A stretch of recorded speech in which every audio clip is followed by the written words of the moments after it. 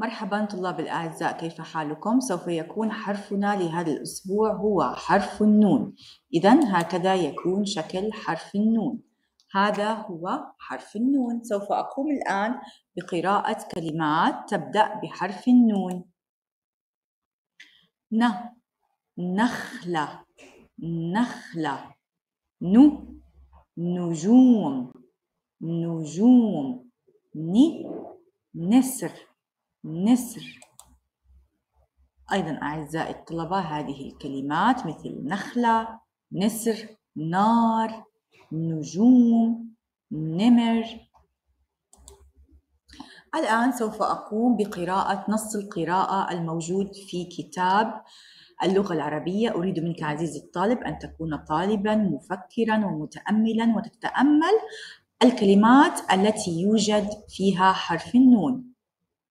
قال سكر في بستان جدي ياسين شجرة رمان كبيرة يقف تحتها حصان بني اللون ونعجة نحصل منها على الحليب هل رأيت عزيزي الطالب الكلمات التي يوجد فيها حرف النون؟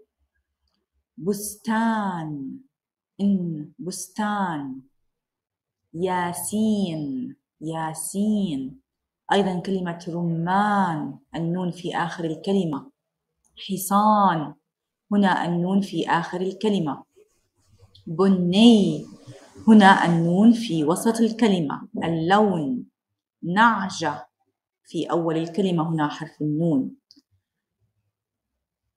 إذا هذه هي الكلمات التي يوجد فيها حرف النون.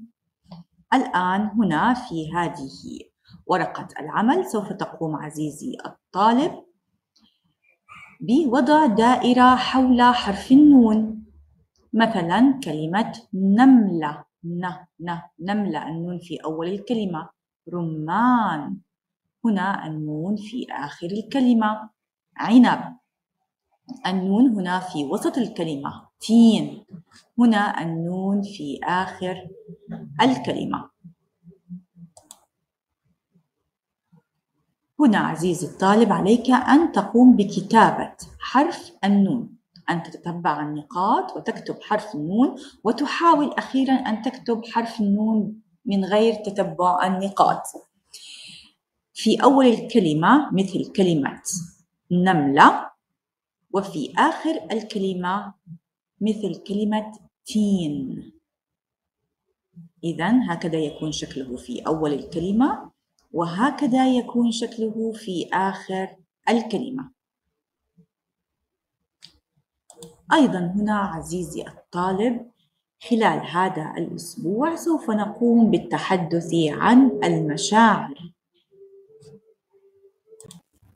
وكيف تشعر اليوم؟ هل أنت حزين؟ هل أنت سعيد؟ هل أنت متفاجئ؟ هل أنت غاضب؟ وعليك عزيزي الطالب أن تفسر سبب غضبك أو سعادتك أو حزنك. إذا هذا ما سوف نتناوله في هذه الوحدة. شكرا لكم أعزائي الطلبة وإلى اللقاء في درس جديد. شكرا لكم.